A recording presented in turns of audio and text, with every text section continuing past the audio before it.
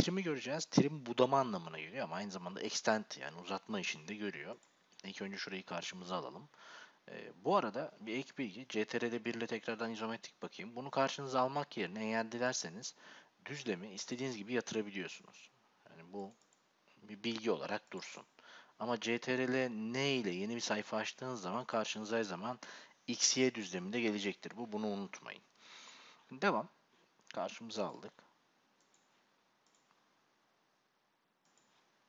Şöyle bir hattım var.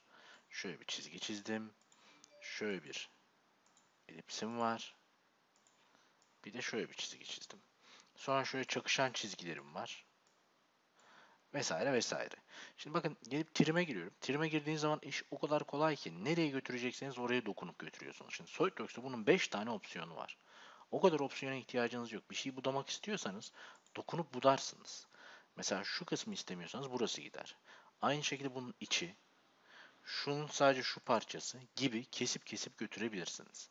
Ve tabii ki eğer dilerseniz pencere içine alarak da yani şöyle şu içine tam girsin ya da sadece üstteki kısmı pencere için alayım mesela götürebilirsiniz ya da diyelim ki götürebilirsiniz.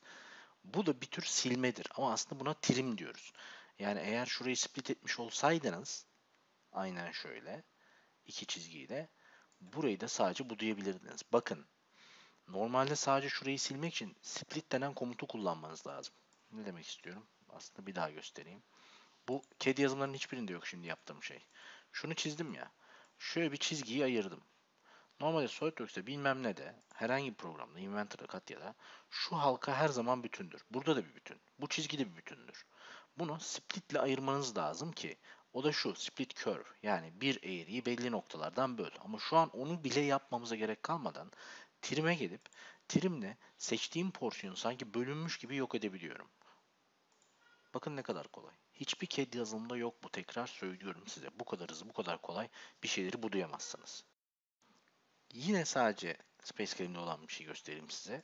3D'nin 2D'yi tanıması diyorum ben buna. Ee, böyle bir geometriniz var. Hatta şöyle radius da atayım.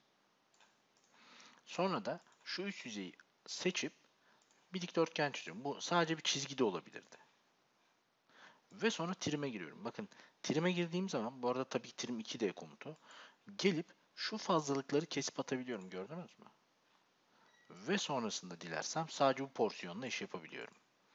Dolayısıyla trim hem iki boyutta hem üç boyutta hem de boyutun kenarlarını kullanarak da çalışıyor. Yani budama komutu.